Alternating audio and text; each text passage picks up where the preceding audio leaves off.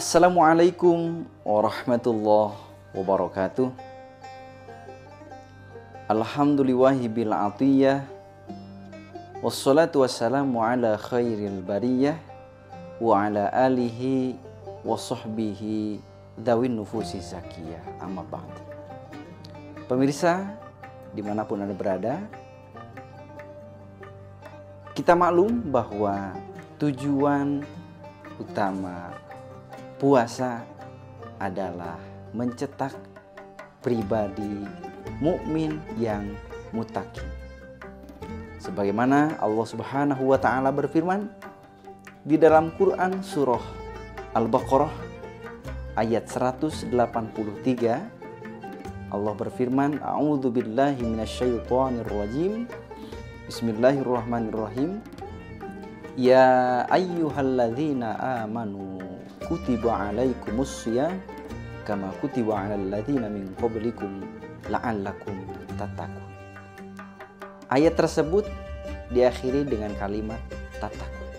Tujuan puasa adalah membentuk pribadi mukmin yang mutakin. Sebagaimana kita maklum bahwa di antara karakter mukmin mutakin itu bisa dibentuk selain puasa di antaranya Al-Quran. Kenapa Ramadan menjadi istimewa? Karena Ramadan adalah bulan dikenal dengan Syahrul Quran. Syahrul Ramadan alladzi unzila fihil Quran. Yang kedua puasa mencetak pribadi mukmin yang mutakin dan yang ketiga puncak kedekatan seseorang terletak pada ibadah malam atau qiyamul lail. Tiga pondasi itu baik itu Al-Qur'an, yang kedua siam atau puasa, yang ketiga qiyam atau ibadah malam itu tertata rapi. Itu kita lakukan bersama di bulan Ramadan ini. Maka segala sesuatu yang bersentuhan dengan Al-Quran pasti mulia.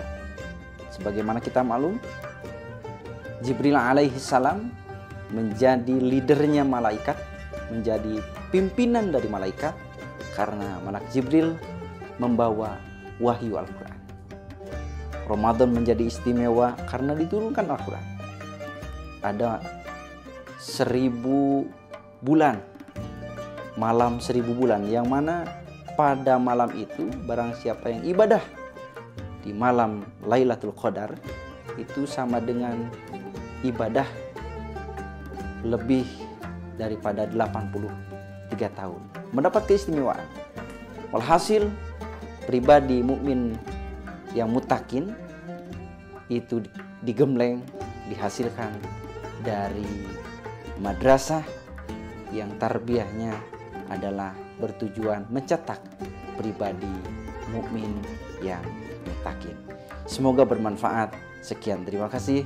Wallahul muwaffiq ila Wassalamualaikum warahmatullahi wabarakatuh.